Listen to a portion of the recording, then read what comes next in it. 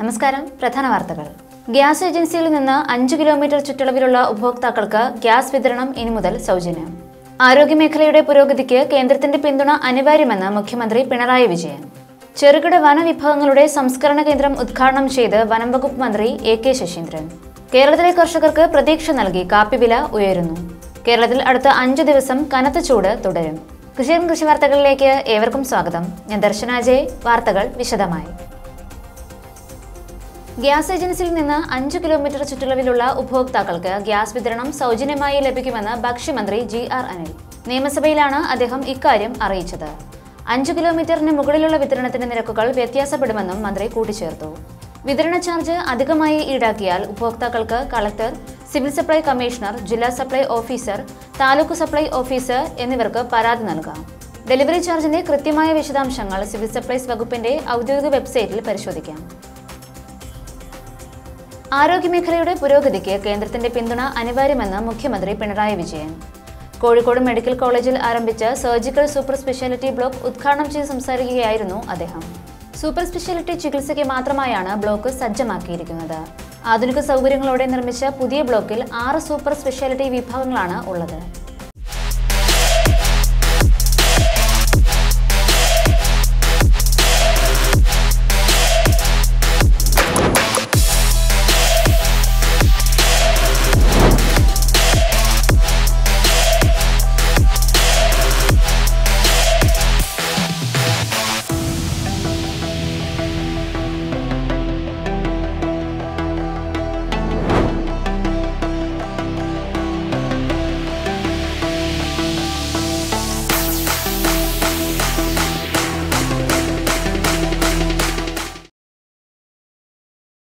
ക്ഷയരോഗം മൂലം തിരുവനന്തപുരം മൃഗശാലയിലെ അറുപത്തിനാല് മൃഗങ്ങൾ ചത്തുപോയതായി ക്ഷീരവികസന മന്ത്രി ജെ ചിഞ്ചു റാണി.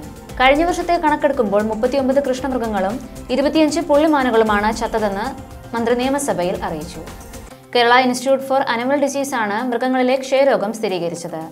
രോഗം മറ്റ് മൃഗങ്ങളിലേക്ക് വ്യാപിക്കാതിരിക്കാനുള്ള മുന്നൊരുക്കങ്ങൾ എടുത്തിട്ടുണ്ടെന്നും മന്ത്രി കൂട്ടിച്ചേർത്തു. ചെങ്ങന്നൂർ നിയോജക മണ്ഡലത്തിൽ പ്രവർത്തനം ആരംഭിക്കുന്ന മത്സ്യവില്പന വാഹനത്തിന്റെ ഫ്ളാഗ് ഓഫ് ഫിഷറീസ് മന്ത്രി സജി ചെറിയാൻ നിർവഹിച്ചു. മത്സ്യഫെഡിന്റെ സഞ്ചരിക്കുന്ന മത്സ്യവില്പന സംരംഭമായ അന്തിപശ പദ്ധതിയുടെ ഭാഗമായാണ് പരിപാടി സംഘടിപ്പിച്ചത്. ഗുണമേന്മയുള്ള മത്സ്യവും മത്സ്യഫെഡിന്റെ തന്നെ മൂല്യവർദ്ധിത ഉൽപ്പന്നങ്ങളുമാണ് അന്തിപശയിലൂടെ ഗുണഭോക്താക്കൾക്ക് ലഭിക്കുക. കോന്നിയിൽ പ്രവർത്തിക്കുന്ന കോളേജ് ഓഫ് ഇൻഡിജിനസ് ഫുഡ് ടെക്നോളജിയിൽ സംഘടിപ്പിച്ച ഭക്ഷ്യമേളയുടെ ഉദ്ഘാടനം മന്ത്രി ജി ആർ അനിൽ നിർവഹിച്ചു. പരിപാടിയുടെ ഭാഗമായി ബിരുദദാന ചടങ്ങും ലോഗോ അനാച്ഛാദനവും നടന്നു. ഭക്ഷ്യ പൊതുവിതരണ വകുപ്പിന് കീഴിൽ പ്രവർത്തിക്കുന്ന സി എഫ് ഡിയിൽ നിന്നും പഠിച്ചിറങ്ങുന്ന വിദ്യാർത്ഥികൾക്ക് സപ്ലൈകോ വഴി ജോലി ഉറപ്പാക്കുമെന്നും മന്ത്രി ചടങ്ങിൽ കൂട്ടിച്ചേർത്തു.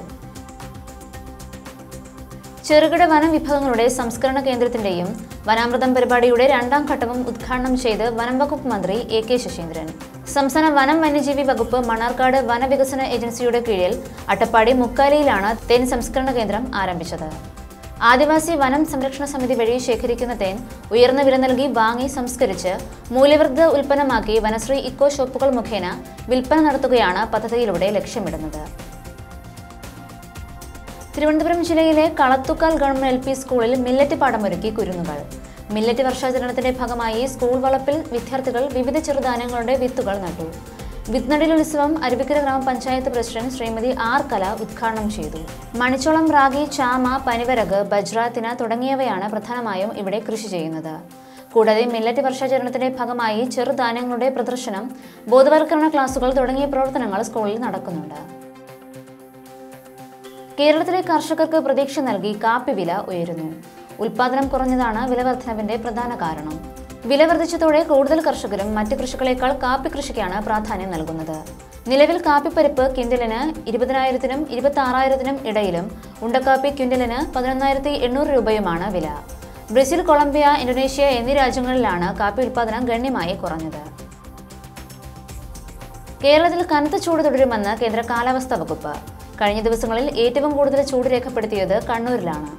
അഞ്ച് ദിവസത്തേക്ക് സമാന രീതിയിൽ ചൂട് തുടരുമെന്നും രാവിലെ പതിനൊന്ന് മണി മുതൽ മൂന്ന് മണിവരെയുള്ള സമയങ്ങളിൽ നേരിട്ട് വെയിൽ കൊള്ളുന്നത് ഒഴിവാക്കണമെന്നും നിർദ്ദേശമുണ്ട്. അതേസമയം കൂടുതൽ ദിവസം ചൂട് തുടർന്നാൽ ഉഷ്ണതരംഗം ഉണ്ടാകാൻ സാധ്യതയുണ്ടെന്നും മുന്നറിയിപ്പുണ്ട്. ഇതോടെ ഇന്നത്തെ വാർത്തകൾ അവസാനിക്കുന്നു. കൂടുതൽ വാർത്തകൾ അറിയാൻ ഞങ്ങളുടെ ചാനൽ കാണുക. നാളെ കാണുന്നതുവരെ നന്ദി നമസ്കാരം.